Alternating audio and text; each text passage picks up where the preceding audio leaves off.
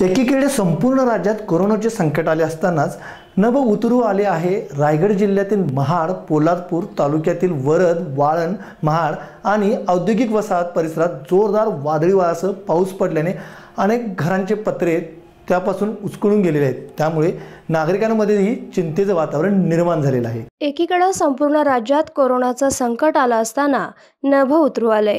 रायगड जिल्ह्यातील महाड पोलादपूर तालुक्यातील वरंध वाळण आणि औद्योगिक वसाहत परिसरात जोरदार वादळी वाऱ्यासह पाऊस पडला. अनेक घरांची पत्रे त्यापासून उचकटून उडालेत तर कॉन्क्रीटच्या पत्र्यांचे तुकडे तुकडे होऊन सर्वत्र विखुरले गेलेत. पोलादपूर माणगाव महाड या तालुक्यांमध्ये ढगांचा सावट पसरला असून गडगडाट सुरू आहे. तासभर झालेल्या मुसळधार पावसामुळं काही खोलगट भागात तलावासारखं पाणी साचलंय.